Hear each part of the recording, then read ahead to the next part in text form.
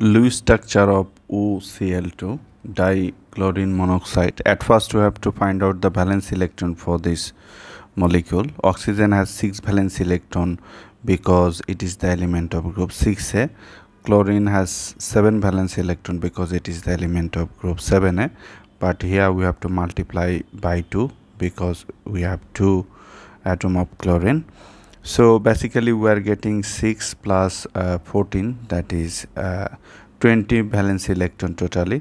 This 20 valence electron has two tasks at the same time. The first task is to connect these three atoms together and the second task is to satisfy the octet for all the atoms. So let us do that.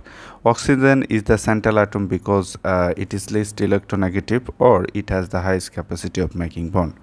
So chlorine chlorine. Let us connect. So connect we need two dots uh, or one single bond. One single bond means two dots right? So after connecting we have 20 and here we have used 4 so we have 16 valence electron left this 16 valence electron will be used to satisfy the octet of outer atom first.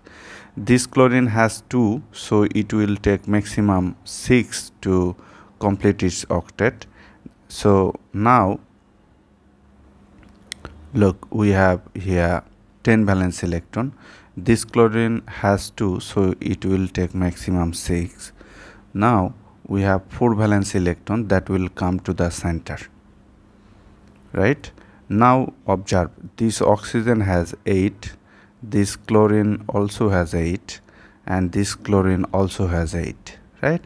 So the electron pairs between two atoms is called bonding pair right so you can say that this is the Lewis structure of OCl2 you can express this bond pair as dash. Here uh, one bond pair one dash one bond pair one dash so the Lewis structure of OCl2 is this or this